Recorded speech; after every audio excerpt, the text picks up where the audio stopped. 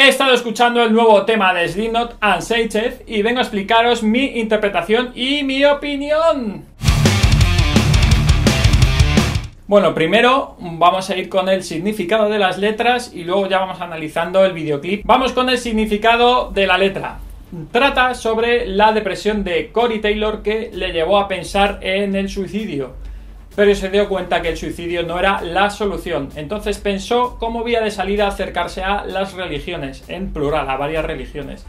Pero descubrió que tampoco era el camino adecuado.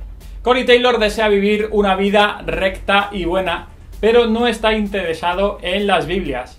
Su mayor queja es que alguien le ha robado su bondad y por eso utiliza mucho el término unsainted. Significa que una persona mató el santo que hay en él y con santo se refiere pues a la bondad, al lado bueno de su naturaleza.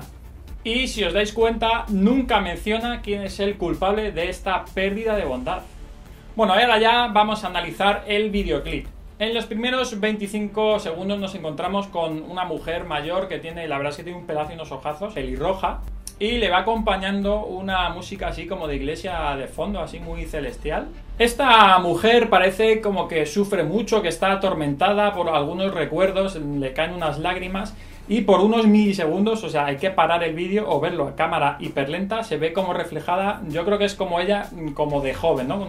Con, menos edad. Las voces eh, celestiales empiezan a tomar más protagonismo y se ve una mujer tapada con una especie de paño semi-transparente. Esta mujer eh, comienza a cantar y la verdad es que es una parte como muy bonita y si os fijáis, está como pintada todo de blanco y en, el labio eh, de rojo está justo toda la S de Slipknot pintada. La verdad es que muy, muy currado. Bueno, ya aparece de espaldas Cory Taylor y él empieza a cantar de manera así muy suave y melódica, acompañado de estas voces celestiales. Este comienzo recuerda un poco más a, Stone Sour más que a Slipknot pero no os asustéis que va, va, a haber caña, ¿vale? De repente aparece un grupo de encapuchados en una habitación así como cerrada, como, como unas cajoneras transparentes.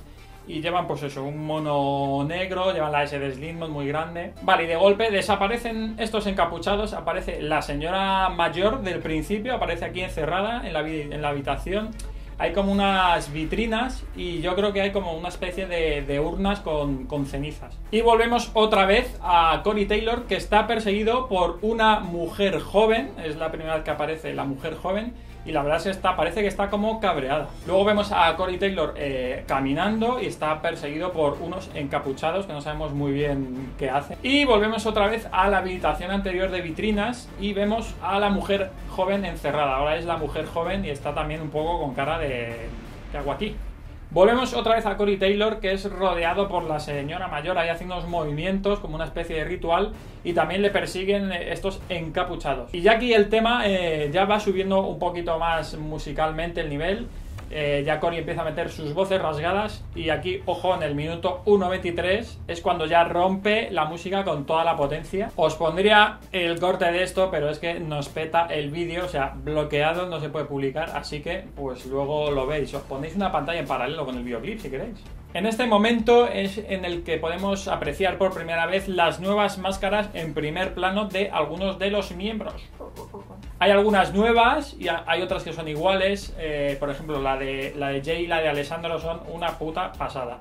De hecho, es, eh, o sea, esto de las máscaras yo creo que daría incluso para un vídeo entero analizando las máscaras.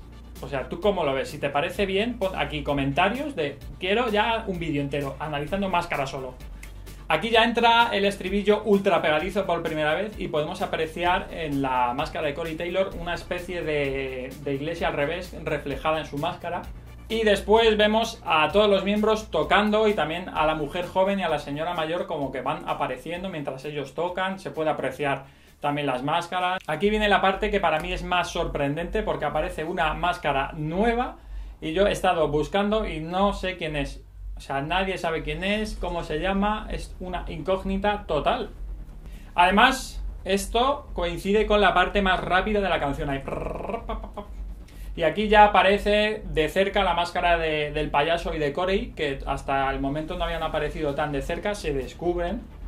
Y además esta parte me gusta porque ambos cantan a, la par y queda la verdad es que chulísimo con una especie de ojo ardiendo de, fondo, con unas llamas, queda muy bien esta parte. Bueno, y recordemos que la mujer mayor pues sigue teniendo un poco de relevancia, sigue apareciendo y, y es como, ¿qué hace esta señora? Y otra vez viene el estribillo que de verdad a mí me parece súper pegadizo, o sea, lo tengo aquí interiorizado. Con esta parte en el minuto 3 musicalmente a mí me flipa porque tiene el toque de Sid con los sintetizadores y el batería que toca ahí súper potente con mucha pegada.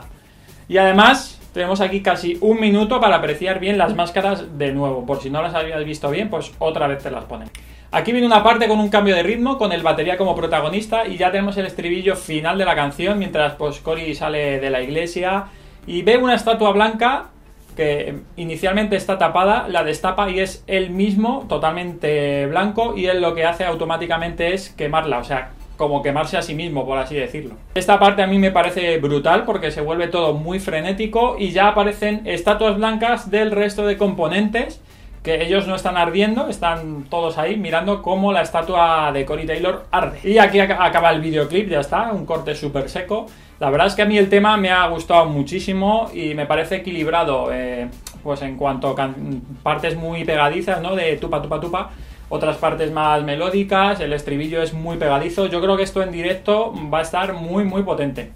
A mí este tema me ha dejado muchas ganas de escuchar el nuevo disco. Os dejo por aquí la portada que ya la han anunciado. También tenemos el tracklist. Si os fijáis en el tracklist que han publicado, eh, la canción anterior que sacaron, All, Out Live, eh, no aparece. Entonces no sabemos si esa canción igual aparece luego un bonus track o simplemente la han sacado porque les apetecía y ya está. Ponme en los comentarios qué te ha parecido el videoclip, la canción, qué esperas del nuevo disco, de verdad, y yo lo leo todo. Aquí algunos más y dime en los comentarios también si quieres que hagamos más vídeos de videoclips, de análisis de discos, de todo esto. Y aquí suscríbete, y aquí la tienda de ropa. Y relleno.